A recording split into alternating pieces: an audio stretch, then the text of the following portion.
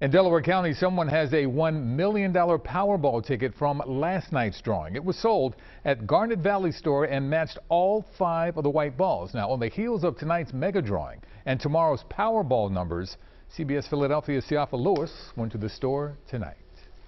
One lucky regular customer who frequents this Delaware County Dunkin' and convenience store won a million dollars during Monday's Powerball drawing. It's crazy. We've been open for five years. Never something like this has ever happened. With a seven figure winning ticket sold here Monday, Tuesday saw many stopping by hoping some luck might rub off on them. I'm hoping for a back-to-back win here. I came here to buy a ticket from the Lucky Machine. Figure, you know, maybe twice, you know, two times. I don't know. And as usual, folks here are also dreaming big. Get out of debt and a vacation. A Mercedes G-Wagon, What color? matte black. Oh, got it all picked out already. Yeah, with the red, the red interior. I can live out of my car. Probably let moms go ahead and retire.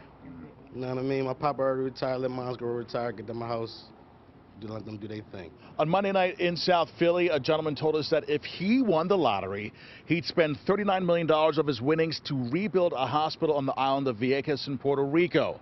On Tuesday night here in Garnet Valley, another gentleman's response truly spoke to us. Meet Gordon Coleman. If he wins, he is not up and quitting on his employer. I'm not just going to walk away from my employer now. He's been good to me. Um, he's, they've looked out. Uh, I have no complaints with them. I, I definitely would stay with them for a little while until I decided on exactly how I wanted to get myself going and get my feet running. When I told Gordon that his stance was admirable, he said, I don't know any other way to be.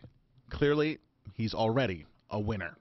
In Garnet Valley, Siafa Lewis, CBS News, Philadelphia.